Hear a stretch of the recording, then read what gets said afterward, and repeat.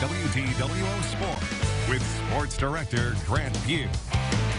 Good evening, everyone. Welcome back. The threat of rain shifted around Indiana State series with Valpo and college baseball. Trees will now play a doubleheader tomorrow at Bob Warren Field. Starts at 1. ISU looking to start off on the right foot tonight. Let's take you there.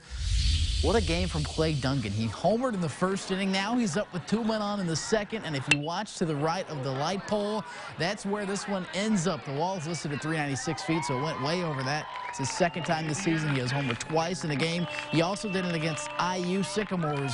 But Dungan going three for four, four RBIs. Sycamores are just pouring it on against Valpo. Then catcher Max Wright gets in on the fun for ISU. This pop up in a tough spot. The shortstop out to shallow left. He can't make the catch. Robbie Enriquez comes around to score. That's another hit. It is 7 to 1 in favor of Indiana State. CJ Huntley also had a good game. The line drive here brings in Jared Watkins. Huntley had three RBIs. Watkins has plenty of time to hustle home. ISU puts up 13. How about a 13 spot? Then Tristan Polley, great on the mound, going seven innings. Game was shortened due to the run rule. He strikes out eight. Just a dominant performance from the ISU's ace. Here is Clay and coach after a big ISU 13 to 2 win. No hits, no errors.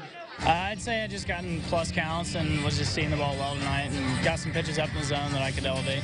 We had pretty much every everyone returning this year and just building off that with the new guys coming in has been an easy transition this year. The thing that I was really pleased with was how patient we were early in the game.